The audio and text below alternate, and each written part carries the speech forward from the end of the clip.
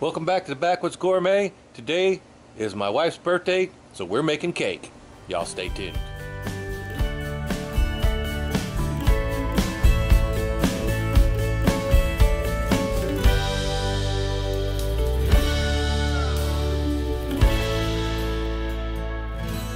Okay, since we're making cake today, you know that we can't just make it inside in the oven. But we are going to take a few shortcuts.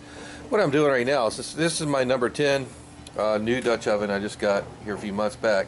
Go ahead and heating that up on the burner there. I already coated it with oil and I'm kind of re-seasoning the inside of that guy.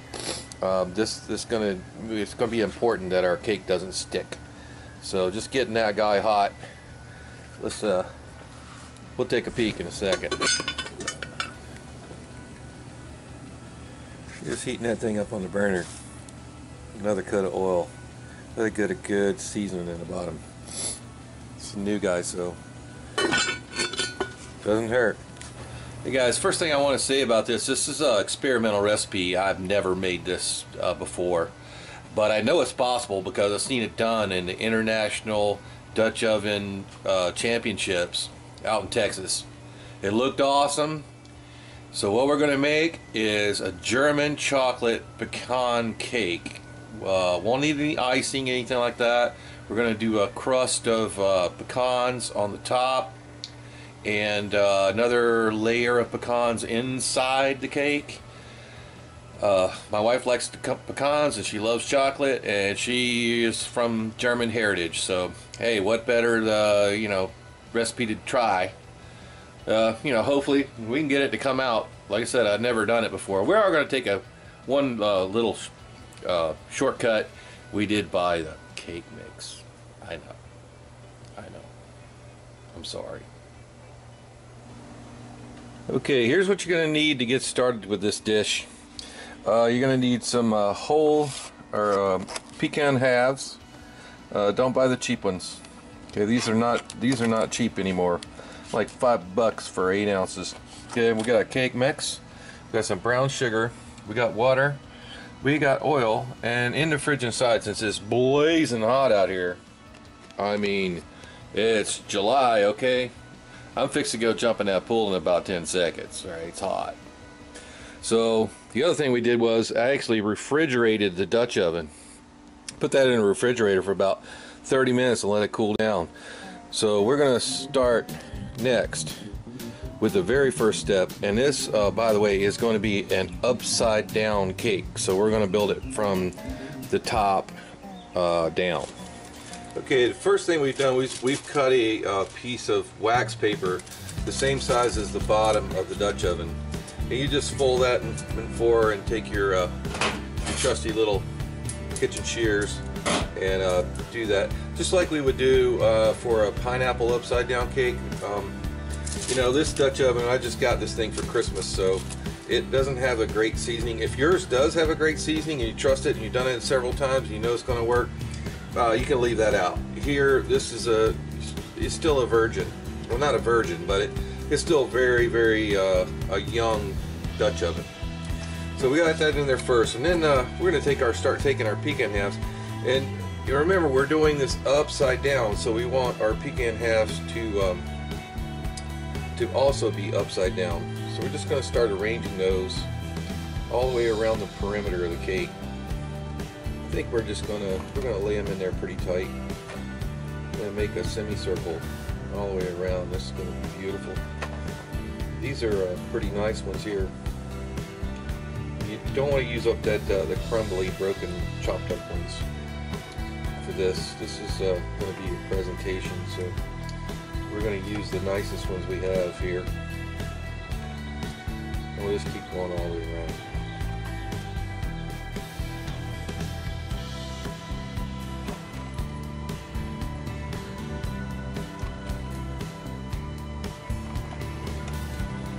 Save any broken pieces you have uh, on the pecan halves for doing the uh, center section which we're going to get to next. This is just, uh, like I said, first time I've ever done this, so we're just kind of making it up here. You know, I have the idea, but anyway, we got our uh, full ring of pecans. Maybe we'll just make that a, an inner ring. because we do want to leave some some space for the actual cake itself. So that looks pretty good.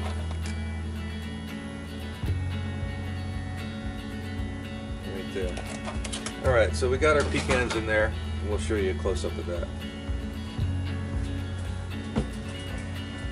Um, I've actually decided to put another, seems like we're going to have plenty, so we're going to go ahead and put another ring of the pecan halves uh, around the, to fill in the blade spots. Like you would do a uh, pecan pie,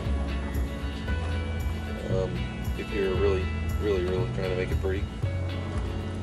And believe me, I, I could eat these things right straight out of this box. Love them. They're a great uh, southern southern nut and um,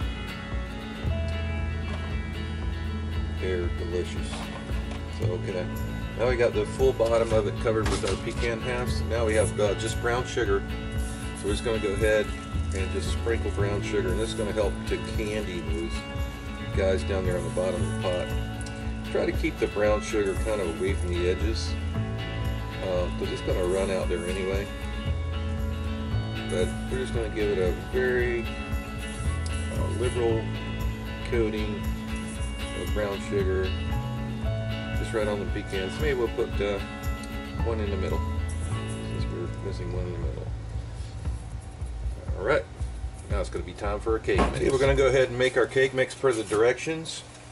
Uh, just whatever, whatever you get, this is three eggs follow the directions on the box. I know, I'm sorry, this is the first time you've ever seen a Backwoods Gourmet do anything out of a box, but you know, for me to go out and get all these different uh, ingredients, it's just way cheaper. So we're going to start out really low with this and uh, just incorporate everything.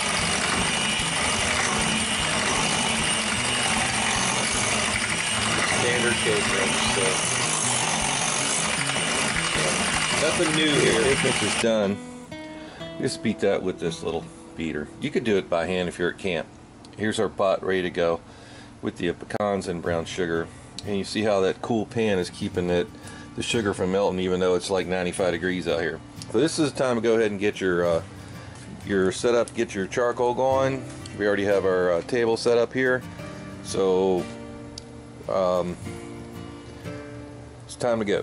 Right, so we have our uh, our cake silicone deal here. We're going to pour one half of this mixture, uh, just kind of eyeball it, about one half of the mixture into the Dutch oven.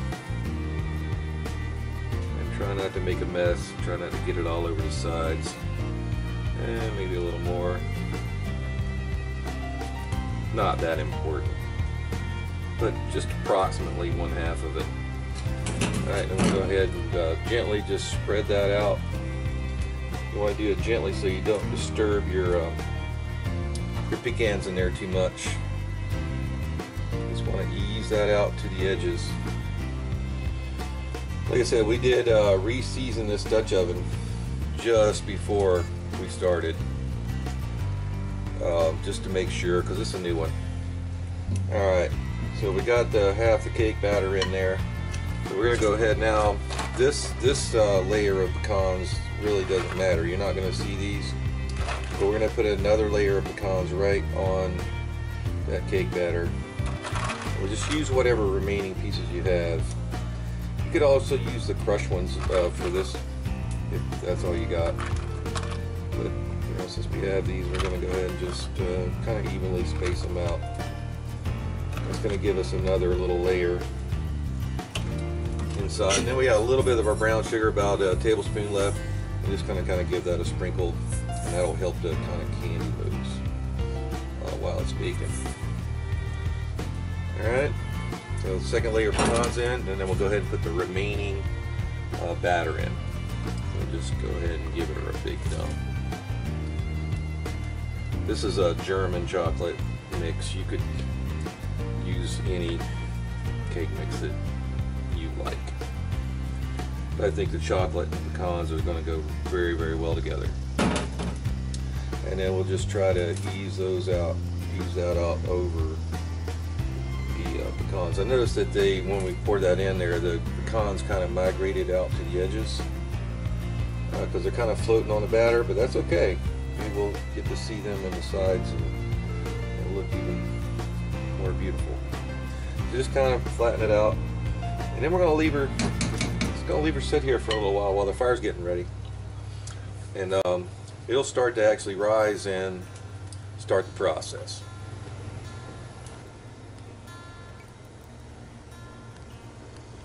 Hey, all that's left to do is get the uh, oven set up. Coals are going good. I do the sissy dance, as uh, Scuttle Dog calls it, when you're wearing flip-flops or Crocs like I am today. We're going to go ahead, since it's a number 10 Dutch oven, we're going to go ahead and put our, we're setting up at 350. So, going to deduct 3 from the bottom and add 3 to the top. So we want 7 coals for the bottom of this pot. We're going to go ahead and get our 7 on there. Keep these to the side.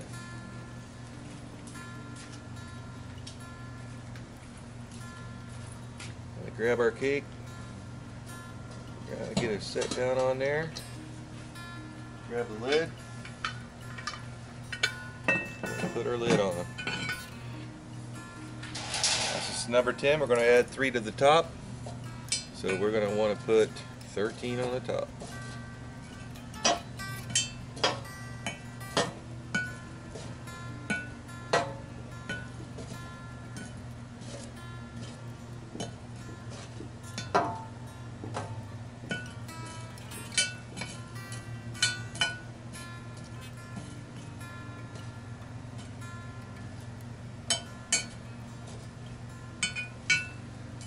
We got 13 on there, and then we're going to want to keep rotating this lid and rotating the pot over the cook over the cook time. So we'll let the uh, extra coal sit over there off the side, and just make sure our feet didn't, uh, you know, kick any of the ones out under the bottom. All right. Okay, you may be asking, how long are we gonna leave it in there? Well, you can use that time on the box, since we're using a box mix, uh, 33 to 36 minutes for the Bundt pan. You want to use the time for the Bundt pan, because the Bundt pan is a deep pan similar to Dutch oven, even though Dutch oven doesn't have that center hole. So we're gonna use that as a gauge. So we're gonna start looking at it maybe around 30 minutes. Uh, and we're going to get our big bamboo skewer and we're just going to test it you know and uh, when that thing comes out clean it's going to be ready All right, we set our timer for about 25 minutes just to go in here and take a look at this guy. And wow, it's really rose up. Uh, you see it's got a little burn here the very top. Very top, a little burn on it. Just gonna make sure that that uh, coals are pushed out and then we'll go get a skewer and we'll test it. We'll unhook that and make sure our coals are pushed out to the sides since it's really rose up really tall in the middle. And we'll go uh, get a skewer and test it.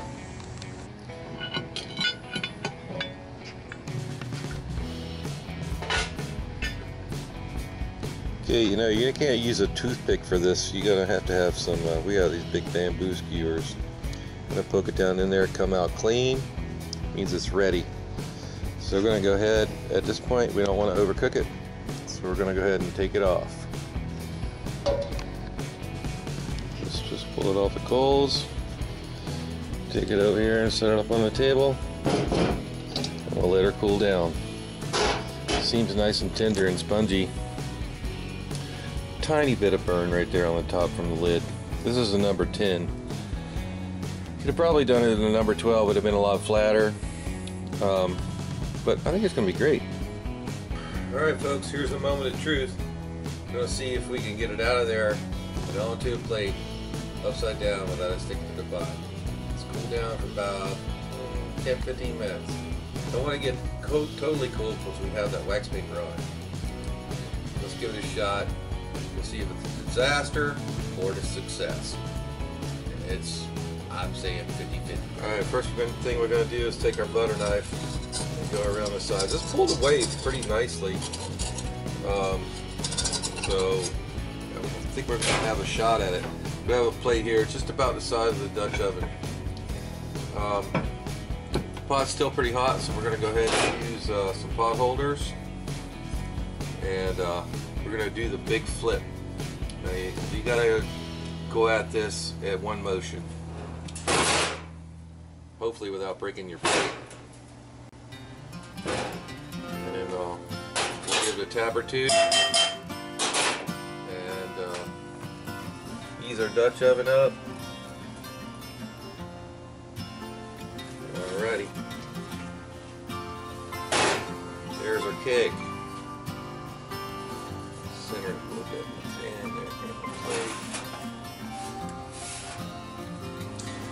Okay, you see it came out just beautifully. Uh, we made it. Now we're gonna gently. We want to do this while this uh, is still warm because if you wait till this get cold, it, this won't uh, peel back very easily. This is the wax paper liner that we put in the bottom of the Dutch oven, and we're just going to gently pull that back put it aside. And now you can see those pecans, the brown sugar crust, pecans peeking through. And when we cut into that guy, hopefully, it's going to be delicious. All right, well, final final step for this cake. We have some pure, 100% uh, real maple syrup here. This is uh, this is not the fake crap, okay? Real maple syrup. Uh, we're just going to glaze the top of this real quick. Uh, maple pecans, brown sugar, uh, chocolate cake. Uh, it's going to give it a nice shine and glisten on the top. We'll even hit maybe the sides a little bit. And uh, this is going to be delicious. And my wife just got home, so be quiet. This is her birthday cake.